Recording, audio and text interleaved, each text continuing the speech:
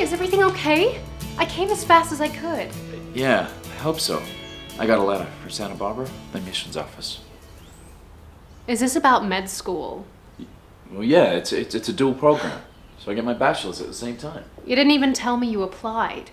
I know, but I told you I wanted to be a doctor. Well, where is this letter?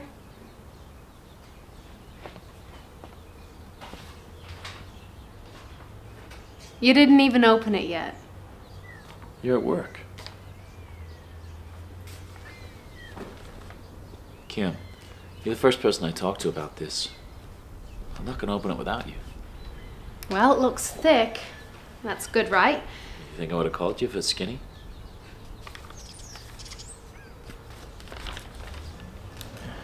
I can't. I can't open it. I get it. Let me.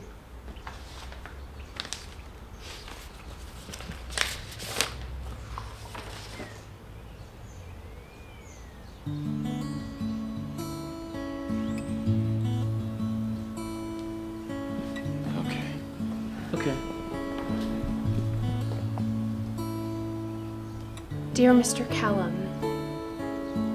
it is our pleasure to inform you that you have been accepted. Oh my god, David, you got in. David, you got in. I got in.